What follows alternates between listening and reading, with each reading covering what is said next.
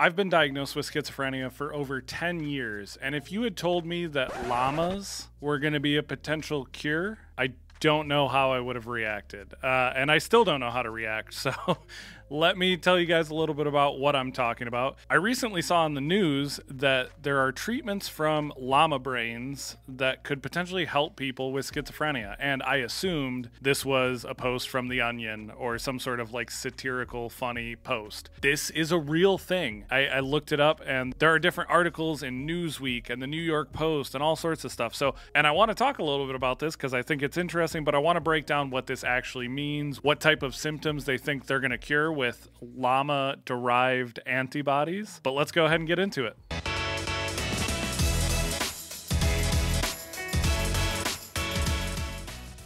So let me be clear uh, llamas themselves cannot cure schizophrenia, but there is a study that's showing that llama derived antibodies show promise as a potential new treatment. And just to be clear, as of right now, there is no cure for schizophrenia, and I don't think that what they're saying here is that this would be a cure. It looks like it might be another form of treatment that allows people to live more full functional lives. But I'm going to get into this article now. I want to tell you guys all about it. So, according to these news articles, French researchers say they have developed a molecule from llamas that could one day help patients with schizophrenia. So the research is on small antibody fragments found in llamas called nanobodies. The potential hope for this is apparently to treat cognitive symptoms. Now, I've talked about this in the past. Medication for schizophrenia usually centers around the positive symptoms, not the cognitive or negative. So the positive symptoms of schizophrenia are hallucinations, delusions, paranoid thoughts.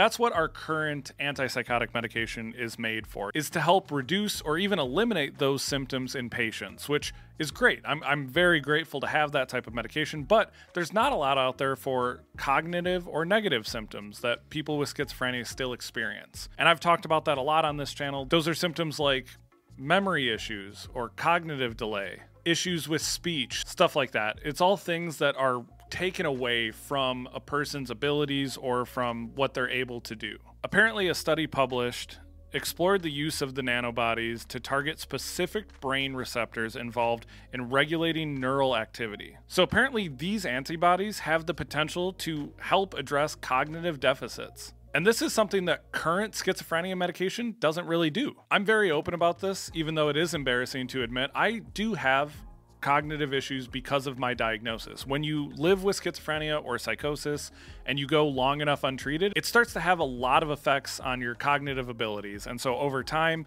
it can get worse and worse. And even if you get medication and treatment, it can still affect your cognitive abilities. So this is actually incredible because if it works out, it'll be one of the first of its kind to be able to help people with the aftermath of getting diagnosed with a severe mental illness like schizophrenia. So apparently, this study has showed positive results in preclinical models. So that would be like using mice models of, of schizophrenia. And apparently, a single injection was showing improved cognitive function that lasted for up to a week in these test subjects. Now, obviously, there is still a lot going on here. Uh, it still needs to go through human trials and the research is still in its early stages. I just thought this was really interesting because it seemed like it couldn't be true. When I first saw it on my timeline, I ignored it because I thought it was a joke.